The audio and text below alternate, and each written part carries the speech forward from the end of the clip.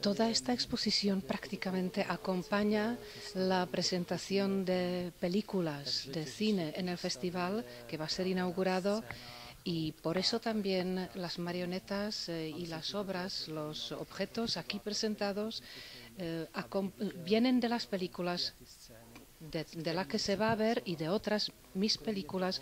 Yo creo que es interesante que el público, que el espectador que va al cine luego pueda ver y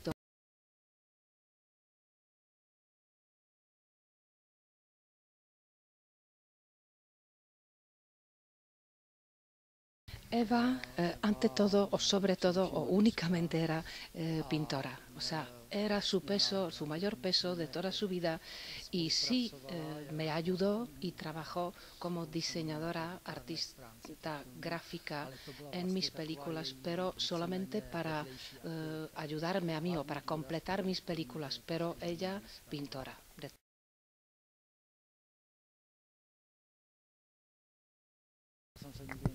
Que yo nunca me he considerado director de cine ni autor de obras de animación o animadas.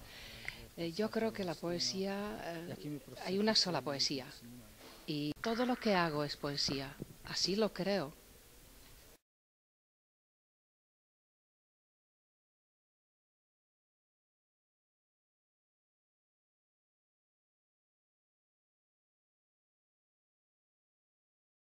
He dicho, yo no hago ninguna diferenciación, ninguna diferencia entre eh, dibujos animados, cine animado o de animación. Eh, y aparte de ello, mis películas son es una combinación. También hay de ficción, también las hay que no son únicamente cine de animación. para mí, realmente, yo me puedo dedicar al collage, al frottage o frotaje, a diferentes estilos o enfoques pero como ya he dicho, poesía hay una sola.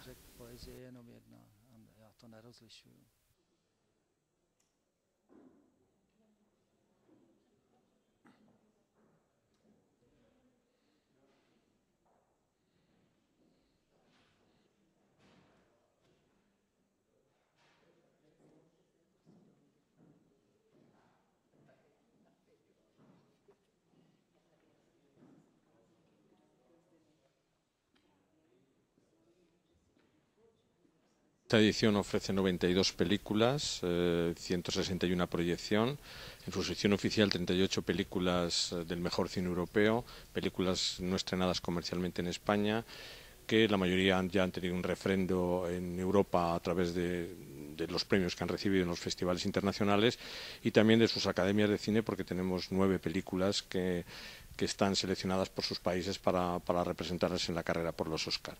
Aparte de esta sección oficial hay otra serie de, secciones muy interesantes de cine documental, de, cine francés, que es el país invitado este año en Muces, eh, también de cine dedicado a Segovia como ciudad de cine.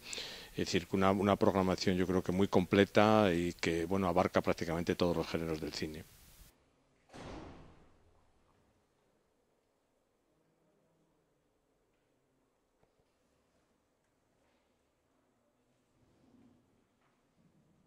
Este año tenemos una fuerte y cálida presencia de cine checo en Muces.